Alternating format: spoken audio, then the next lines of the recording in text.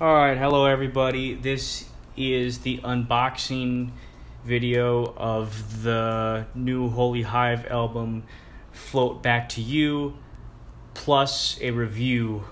So I just got this in the mail uh, from says Big Crown right here. That's the record label they're on. They've also released some singles and I believe one EP prior to this Float Back to You album on Big Crown. Um, white box. They got the brown tape. Big crown uh, symbol right there, resembling some sort of crown. All right, let's uh, let's open it up. See what we got. And now I did I did splurge and I got the special edition record, which was orange vinyl. It wasn't really that much more expensive than the normal standard vinyl. So I thought, why not? And I don't remember how many copies of that they had. They might still have a few left. If they do, well, we'll see. We'll see if I recommend it in a second, but I think that's better than just the normal vinyl. So here we go. I'm opening it up, and there is the front cover. You can see that in the light there. Looks pretty good, and then it looks like this is a limited edition orange translucent colored vinyl. Um, it's the highly anticipated debut album. They're calling these songs cult classics. Okay. And then on the back, we kind of have this egg thing again. I don't know if this is supposed to be an egg or what the deal is with this. Maybe we'll learn more when we, we listen to the album. But now I'm going to remove the plastic wrap. I think that this comes pretty standard at vinyl pressing plants, um, especially when you're going to ship it out to customers because, you know, it rains, it snows, things happen, and you definitely don't want that that uh, moisture damaging the product before it gets to the customer. So here it is without the wrap. If you can see it in the light there, definitely looks pretty pretty nice. All songs written by Holy Hive, um, except one of the tracks here, "Be Thou by My Side," which was written by Honeybus, and I think they're a band from either the '60s or '70s. I don't remember right now. Okay. Produced by Homer Steinweiss, recorded at the Diamond Mine in Queens, New York, mixed by Chris Connors, and then mastered by Alex DeTurk. Artwork, let's not forget about this, by Cynthia Alfonso, and then designed by High Tide.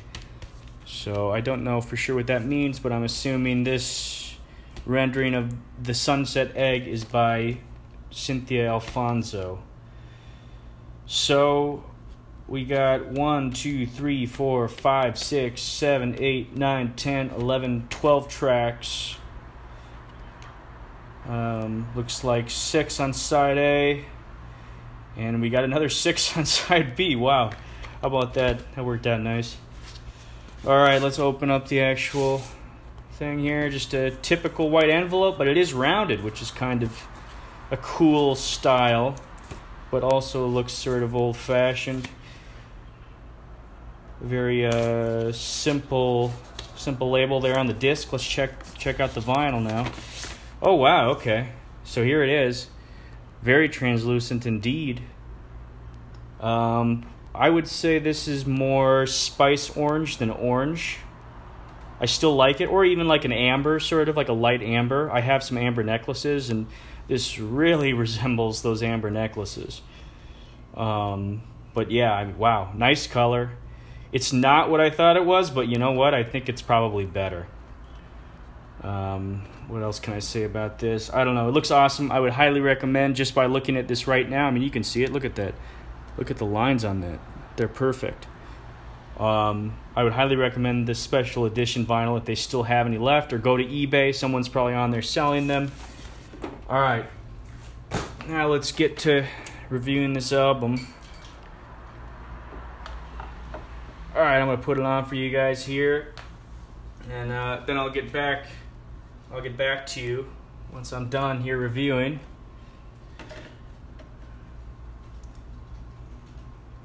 Don't worry, it didn't hit the it didn't hit the thing. It was it was it's up before it goes down. So there we go.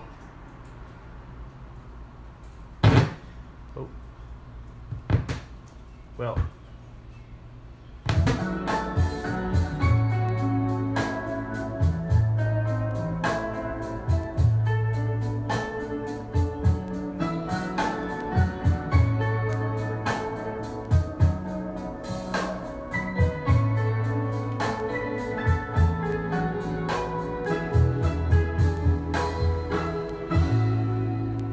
Wow, that album was that was really good.